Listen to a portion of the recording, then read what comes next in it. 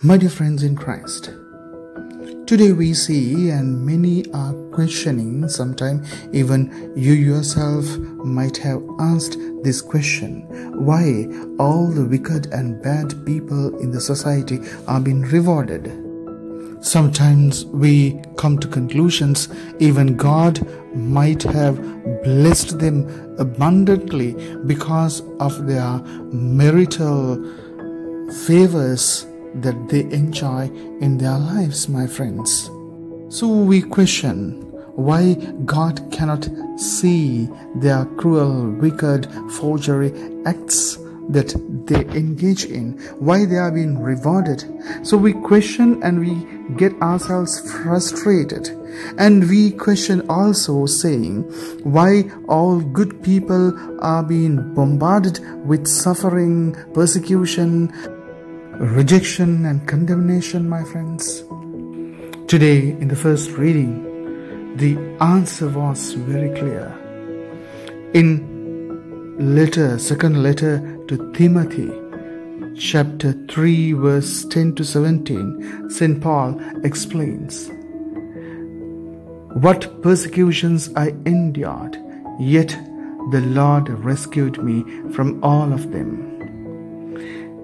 Indeed, all of us who wants to really serve the Lord will have to go through these persecutions and sufferings. That's what St. Paul reminds us today through Timothy. When he writes to Timothy, he says, Be ready to face persecution and suffering, but the Lord will be always there for you and for me as he was to Tim, Timothy and St. Paul that He will deliver us. He will rescue us, my dear friends. So we need to have our faith strongly rooted in the Lord because believing it is not so much the, the wicked and the bad will be rewarded because the destructions that they would face in life in time to come would be unbearable and intolerable, my friends. But whereas the reward of the people who are being favored by God will be unimaginable, my friends.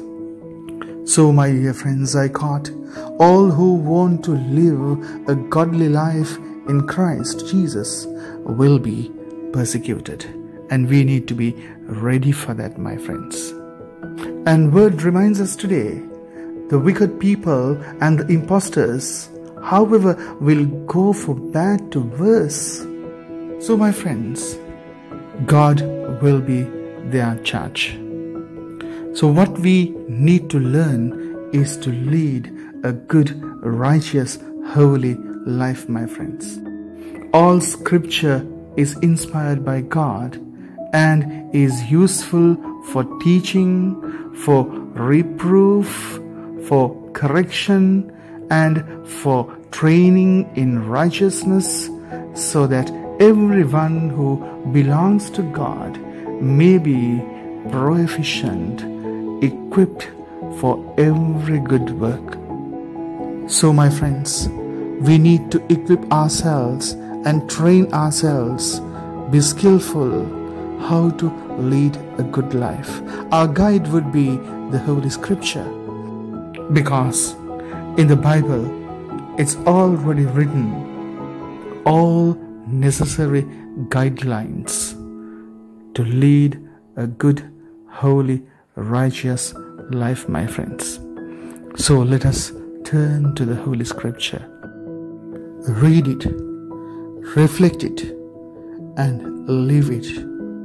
When we live the scripture, we will be called the sons of God. Amen. God bless you. Have a nice day.